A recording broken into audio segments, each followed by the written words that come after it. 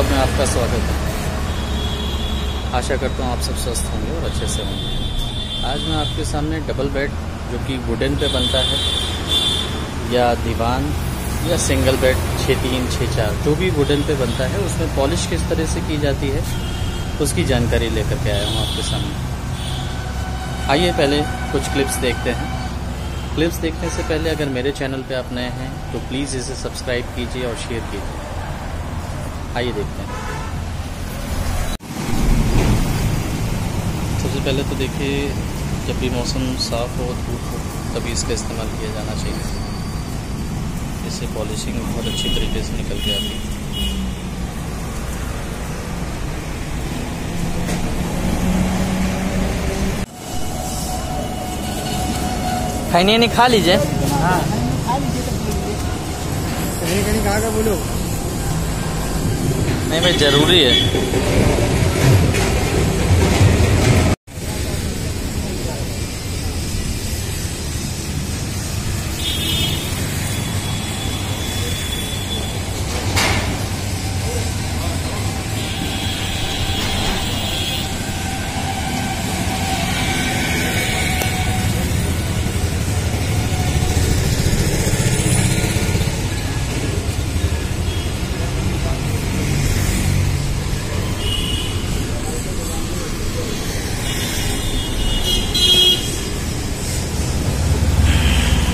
आप ही कर रहे हैं पॉलिश का काम?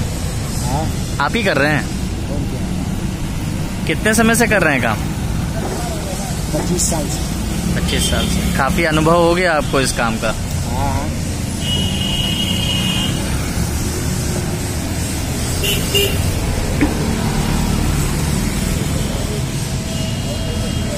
इसमें क्या क्या सामान की ज़रूरत पड़ती है भैया? भैया इसमें रुमार हुए धोती हुए सीलर हुए लाइटर हुए चौड़ी हुए चंद्रस हुए सभी चीज़ का इस्तेमाल करते हैं।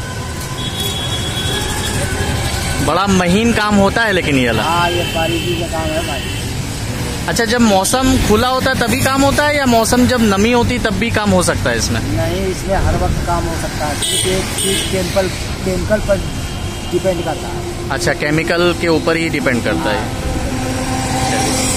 अच्छा पहले जब इसको तैयार करते हैं तो पहले घिसाई घिसाई होती होगी? हाँ पहले घिसाई होते पाउडर पड़ते अच्छा। बनते अच्छा। पॉलिश होते। अच्छा। हाँ। अच्छा मान लीजिए अगर हम एक छः बाई चार का दीवान बनवा रहे हैं उसमें पॉलिश करवाना होगा तो कितना समय लग जाएगा उसको? एक दिन में कर देंगे आप? हाँ।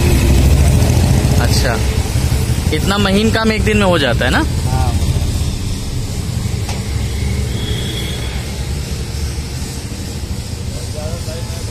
हाँ क्या कर रहे भैया।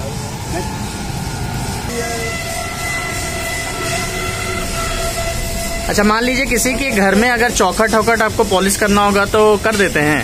हाँ। अच्छा काम पहले देखते होंगे उसी आधार पे सामान अमान सब रहता हाँ, होगा? उसी उसी काम देख करके सामान। अच्छा मान लीजिए जैसे हमको कोई काम करवाना है तो सामान आप देते हैं या हम ही को मंगाना होगा? जैसे कि लेबर बेस पर भी काम करते हैं मटेरियल समेत भी काम करते हैं। अच्छा। हाँ मटेरियल समेत करेंगे मजदूर मटेरियल हम लगाएँगे मटेरियल काम